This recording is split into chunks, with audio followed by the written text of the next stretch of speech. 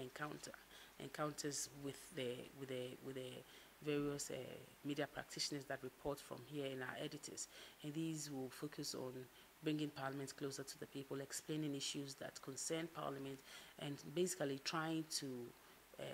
let the citizens have a better understanding of how Ghana's Parliament works and to have a better appreciation of the difficulties, challenges, and responsibilities that the Parliament of Ghana faces on a daily basis. It is our hope that uh,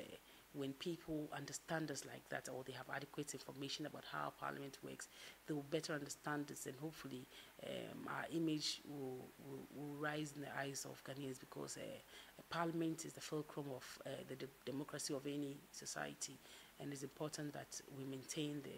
uh, dignity and sanctity of our Parliament. We are hoping that we'll be able to activate our Twitter handle and Facebook account um, so that people can interact with us online. Um, our website is available, www.parliament.gh is available for anybody wanting to talk to us now in the meantime while we wait to activate our um, social media um, accounts. So our aim is to get the people to actually appreciate you know the good things that Ghana, Ghana's parliament does, and that's why we are feeling that uh, maybe a little bit more interaction with, with people. And you know, gone are the days when people just relied on traditional media.